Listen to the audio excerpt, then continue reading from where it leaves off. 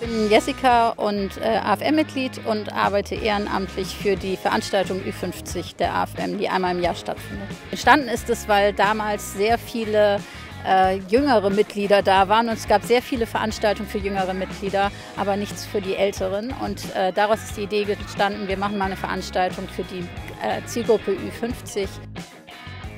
Ja, es ist total wichtig für uns und den Verein, ähm, dass wir mit äh, unserer größten Mitglieder-Base, ähm, sage ich mal, in Kontakt kommen, in den Austausch gehen. Die Gesellschaft wird auch älter und in unserem Verein merken wir das natürlich auch, dass wir da eben ähm, auch Angebote finden, Austauschformate finden, um auch zu hören, zum einen, was bewegt eigentlich die älteren Mitglieder in unserem Verein, was wird da gebraucht, wie sind die Sichtweisen auch auf unseren Verein und andererseits genauso, wie bringen wir spezifisch auch ähm, dieser Altersgruppe unsere Themen näher. Das besondere Rahmenprogramm heute ist, dass sich nochmal äh, USP äh, vorstellt. Ähm, die laden wir alle paar Jahre mal ein, weil ich, wir glauben, dass Kommunikation ähm, Vorurteile abbauen kann. Für mich ist es einfach überwältigend, die Stimmung und das Ganze. Und das Zugehörigkeitsgefühl als Fan, äh, ich gehöre dazu.